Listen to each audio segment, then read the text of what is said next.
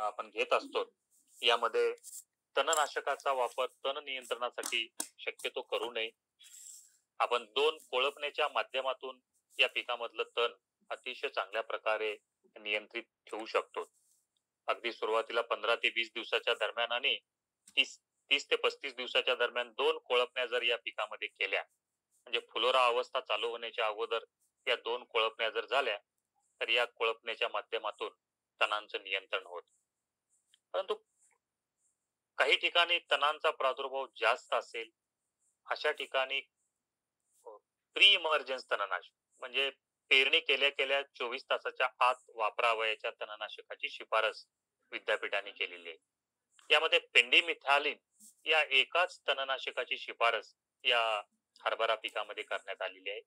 मार्केटमध्ये हे स्टॉम्प किंवा टाटा पनिडा या नावानं उपलब्ध आहे.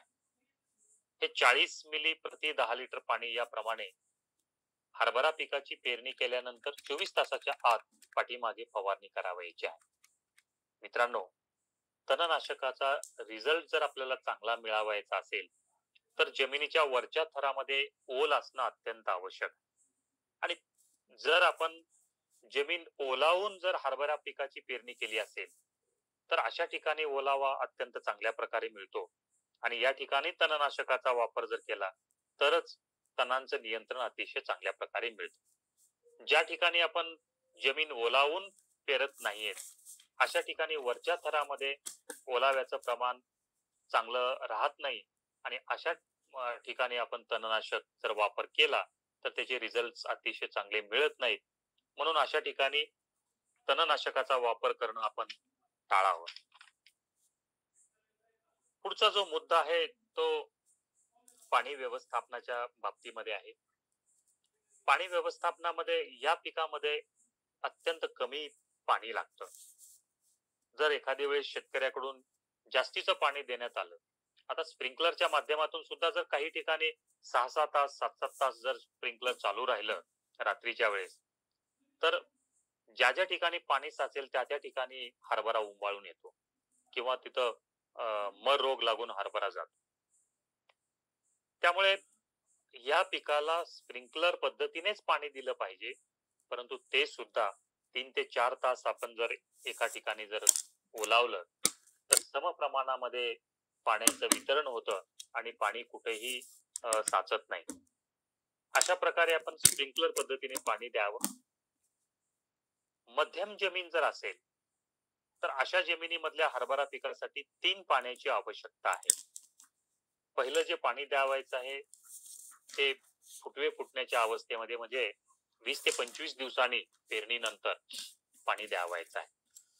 दुसरं जे पाणी द्यावायचं आहे ते फुलोरा अवस्था संपल्यानंतर म्हणजे पंचेचाळीस ते पन्नास दिवसांनी दुसरं पाणी द्यावायचं आहे. आणि तिसरं पाणी जे द्यावायचं आहे ते घाट्यामध्ये चांगला दाणा भरत असताना पासष्ट ते सत्तर दिवसांनी तिसरं पाणी द्यावायचं आहे. मित्रांनो हे झालं मध्यम जमिनीसाठी. परंतु भारी जमीन असेल तर या भारी जमिनीसाठी फक्त दोनच पाणी देण्याची आवश्यकता आहे. यामधलं पहिलं पाणी कळी अवस्थेला द्यावायचं आहे. हरभरा पिकामध्ये कळ्या दिसायला सुरुवात झाली की स्प्रिंकलर पद्धतीने हे पहिलं पाणी कळी अवस्थेमध्ये द्यावं. आणि दुसरं जे पाणी आहे ते घाट्यामध्ये दाणे भरण्याच्या अवस्थेमध्ये म्हणजे ज्वारी एवढा किंवा बाजरी एवढा दाणा तयार झाला की त्या अवस्थेला दुसरं पाणी द्यावं.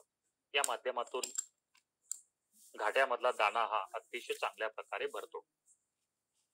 मित्रांनो भारी जमिनीमध्ये आपण एखादी पाणी जर जास्त देण्याचा प्रयत्न केला तर हरभरा पिकाची काईक वाढ जास्त होते आणि हरभरा माजण्याची शक्यता नाकारता येत नाही. ज्या ज्या ठिकाणी हरभरा माजतो त्या त्या ठिकाणी घाट्यांची संख्या कमी मिळते. म्हणूनच आपण भारी जमिनीमध्ये शक्यतो दोनच पाणी देण्याची व्यवस्था करावी.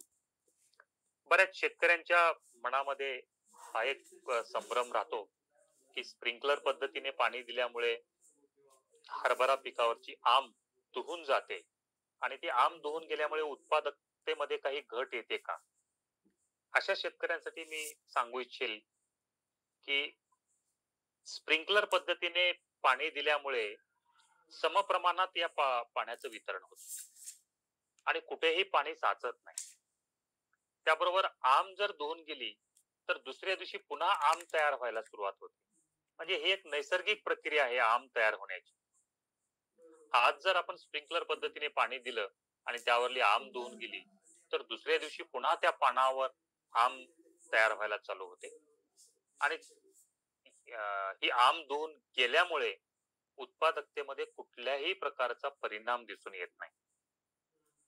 उलट स्प्रिंकलर पद्धतीने पाणी दिल्यामुळे मर रोगाचा प्रादुर्भाव हा पूर्णपणे कमी होतो शून्यावर येतो आणि त्यामुळे उत्पादकतेमध्ये वाढ झाल्याचे निष्कर्ष या स्प्रिंकलर पद्धतीमध्ये आहे.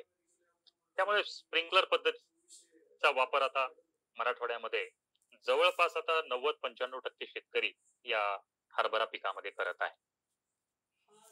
शेवटचा जो मुद्दा आहे तो